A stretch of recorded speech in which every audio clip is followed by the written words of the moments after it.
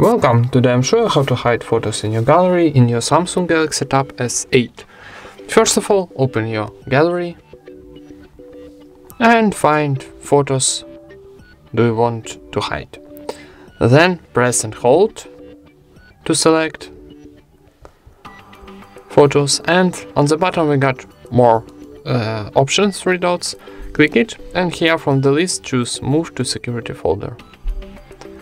Now need draw unlock pattern. If you do this first time, you go into your settings of secure folder and enter your pattern to this folder and how you can see this photo go into secure folder and let's check secure folder. Where is it? This. Now to unlock pattern. And here choose gallery. And how you can see our photos here. And that's it.